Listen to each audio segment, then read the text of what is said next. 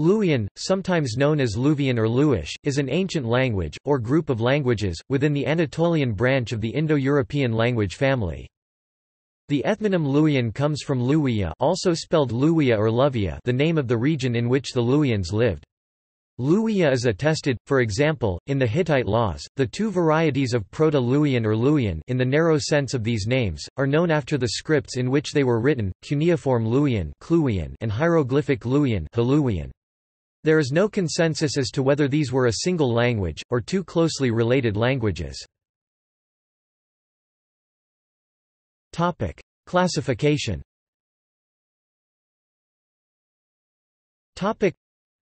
Several other Anatolian languages, particularly Carian, Lycian, Lydian and Milyan also known as Lycian B or Lycian II are now usually identified as related to Luwian, and as mutually connected more closely than other constituents of the Anatolian branch. This suggests that these languages formed a sub-branch within Anatolian.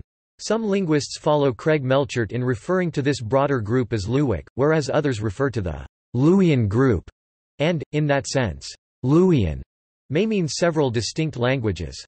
Likewise, Proto-Luwian may mean the common ancestor of the whole group, or just the ancestor of Luwian normally, under tree naming conventions, were the branch to be called Luwic, its ancestor should be known as Proto-Luwic or Common Luwic. In practice, such names are seldom used. Luwic or Luwian in the broad sense of the term, is one of three major sub-branches of Anatolian, alongside Hittite and Palaic. As Luwian has numerous archaisms, it is regarded as important to the study of Indo-European languages i.e., in general, the other Anatolian languages and the Bronze Age Aegean. These archaicisms often regarded as supporting the view that the Proto-Indo-European language had three distinct sets of velar consonants, plain velars, palatovelars, and labiovelars. For Melchert, PIE k Luwian z probably ts kk and kq probably k. Luwian has also been enlisted for its verb kalat t i ya, which means make the rounds of, and is probably derived from asterisk kaluta i circle. It has been argued that this derives from a Proto-Anatolian word for wheel, which in turn would have derived from the common word for wheel, found in all other Indo-European families. The wheel was invented in the 5th millennium BC and, if Kaluti does derive from it, then the Anatolian branch left PIE after its invention so validating the Kurgan hypothesis as applicable to Anatolian. However, Kaluti need not imply a wheel and so need not have been derived from a PIE word with that meaning. The IE words for a wheel may well have arisen in those other IE languages after the Anatolian split. Geographic and chronological distribution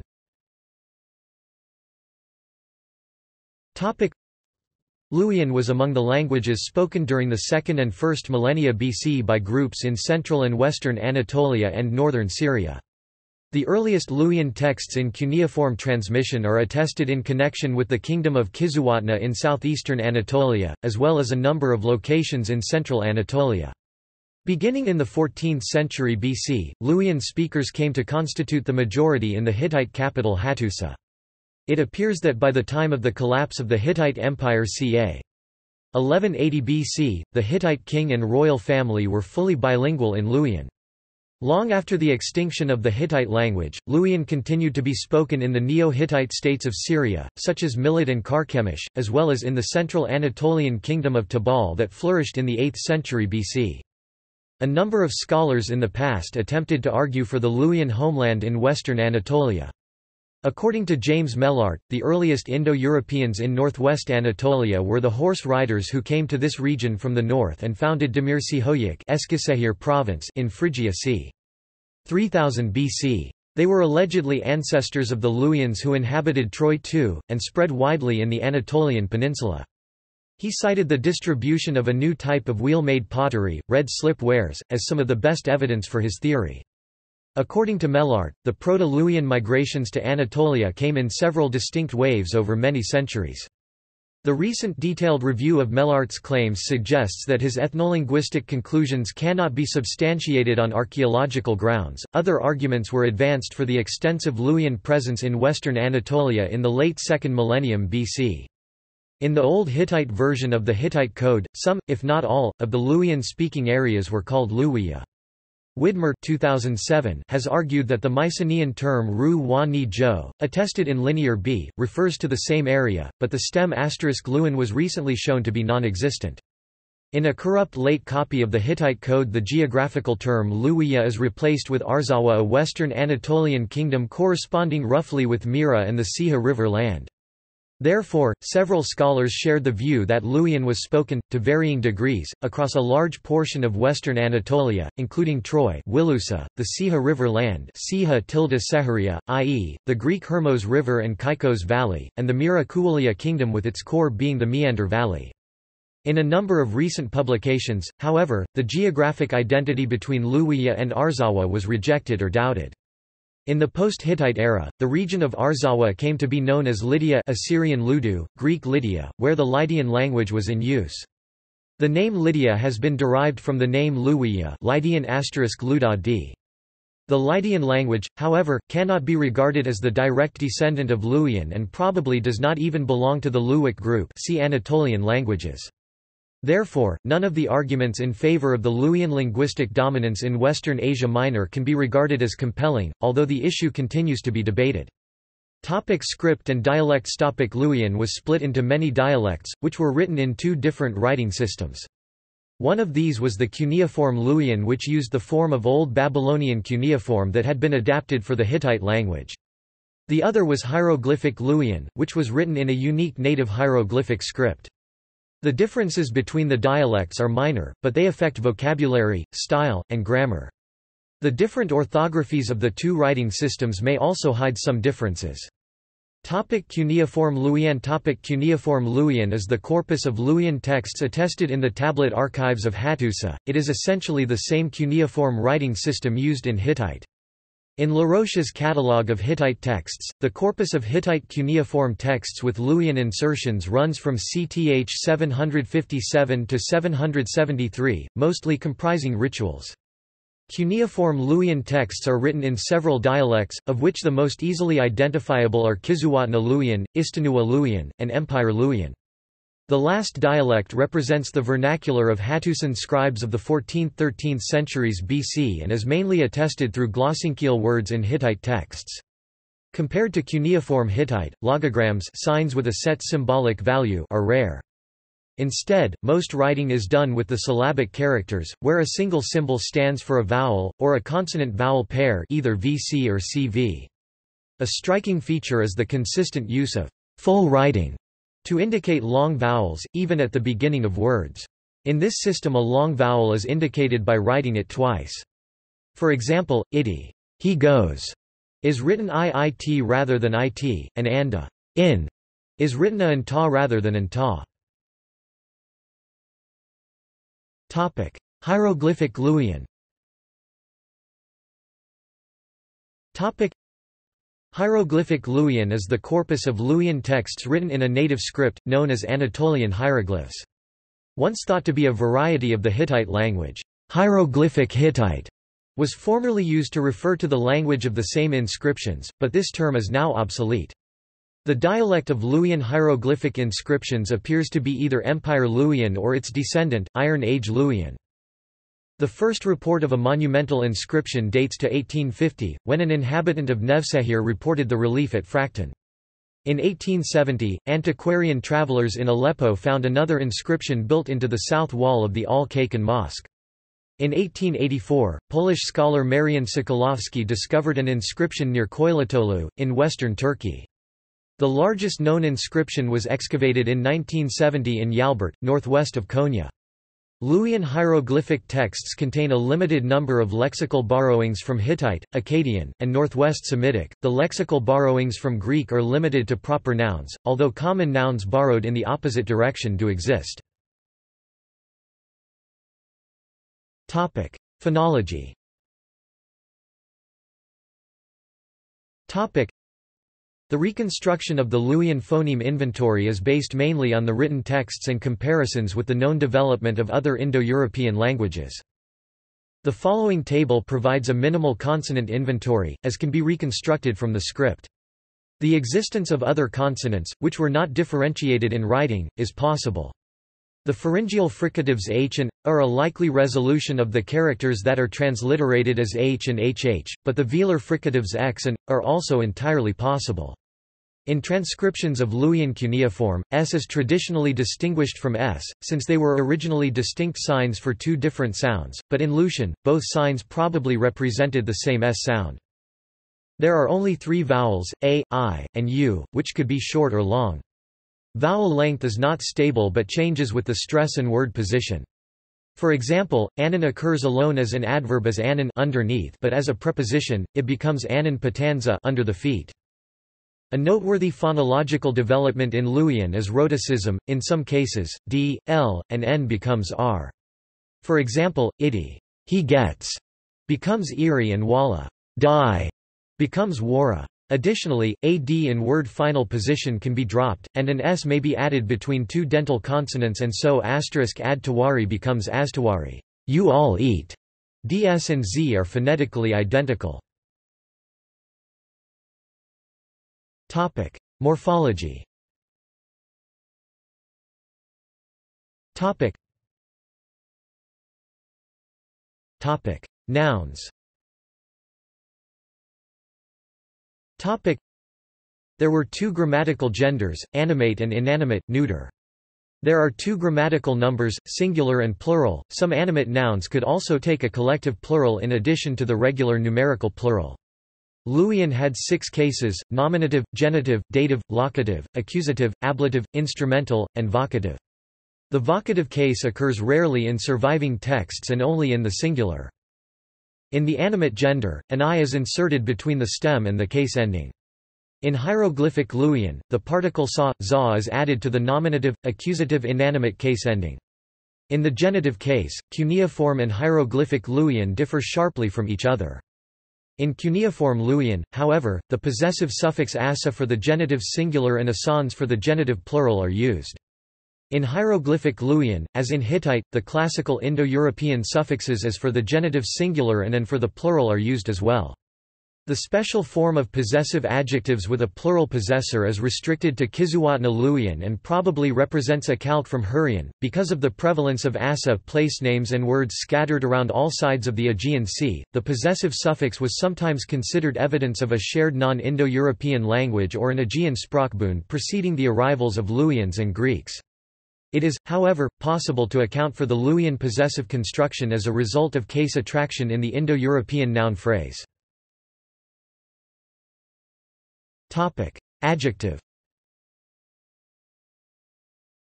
Topic: Adjectives agree with nouns in number and gender. Forms for the nominative and the accusative differ only in the animate gender and even then, only in the singular. For the sake of clarity, the table includes only the endings beginning with a, but endings can also begin with an i. The forms are largely derived from the forms of the nominal declension, with an as before the case ending that would be expected for nouns. Topic: Pronouns. Topic: in addition to personal pronouns typical of Anatolian languages, Luwian also has demonstrative pronouns, the which are formed from apa and za, z. The case endings are similar those of Hittite, but not all cases are attested for personal pronouns. In the third person, the demonstrative pronoun apa occurs instead of the personal pronoun. Possessive pronouns and demonstrative pronouns in apa are declined as adjectives. All known forms of the personal pronouns are given, but it is not clear how their meanings differed or how they changed for different cases.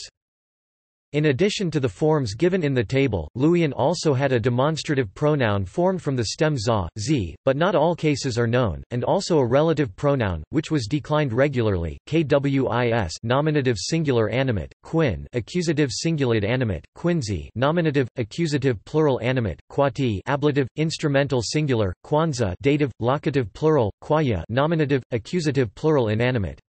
Some indefinite pronouns whose meanings are not entirely clear are also transmitted. Topic: Verbs. Topic: Like for many other Indo-European languages, two numbers, singular and plural, and three persons are distinguished.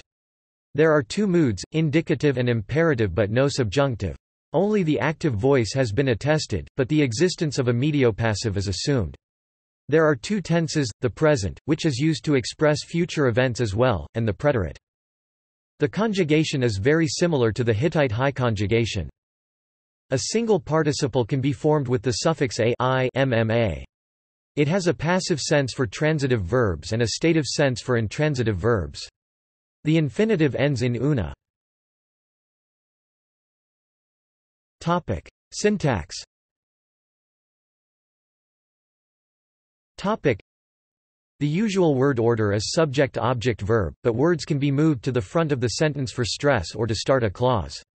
Relative clauses are normally before the antecedent, but they sometimes follow the antecedent. Dependent words and adjectives are normally before their head word. Various conjunctions with temporal or conditional meaning are used to link clauses. There is no coordinating conjunction, but main clauses can be coordinated with the enclitic ha, which is attached to the first word of the following clause. In narratives, clauses are linked by using the prosecutive conjunctions. A before the first word of the following clause means, and then, and pa, can be an independent conjunction at the start of a clause and the enclitic pa indicates contrast or a change of theme. Topic. Vocabulary and texts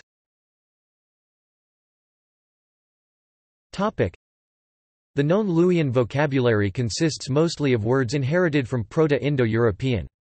Loan words for various technical and religious concepts derive mainly from Hurrian, and were often subsequently passed on through Luwian to Hittite. The surviving corpus of Luwian texts consists principally of cuneiform ritual texts from the 16th and 15th centuries BC and monumental inscriptions in hieroglyphs. There are also some letters and economic documents. The majority of the hieroglyphic inscriptions derive from the 12th to 7th centuries BC, after the fall of the Hittite Empire. Another source of Luwian are the hieroglyphic seals which date from the 16th to the 7th centuries BC. Seals from the time of the Hittite Empire are often digraphic, written in both cuneiform and hieroglyphics. However, the seals nearly always are limited to logograms. The absence of the syllabic symbols from the seals makes it impossible to determine the pronunciation of names and titles that appear on them, or even to make a certain attribution of the text to a specific language. History of research